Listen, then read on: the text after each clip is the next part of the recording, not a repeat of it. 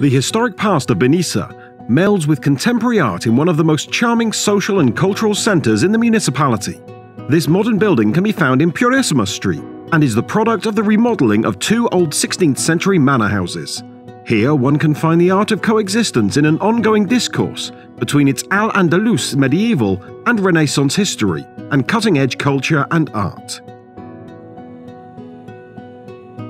Built on three floors, L'Espai d'Art Contemporani Salvador Soria features a facade that allows for the essential materials, among which stone, iron, wood, and glass, to interplay with the natural light and open spaces.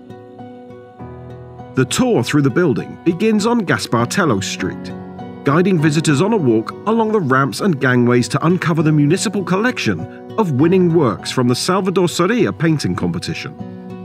This gentleman was an adoptive child of the area and one of the finest artists out of Valencia in the 20th century.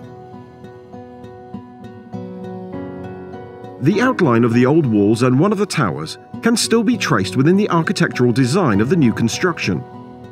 This latter fuses together the history and heritage which have defined the area with the houses that occupied the site, which is now home to the cultural centre.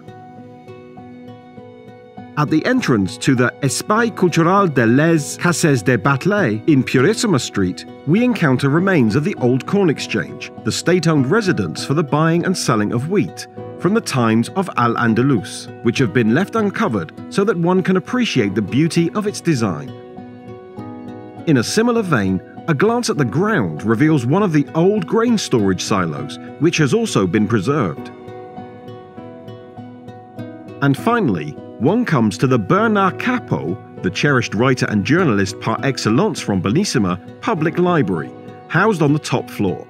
A cosy open plan area which features the old tough stone archways from the original arcade.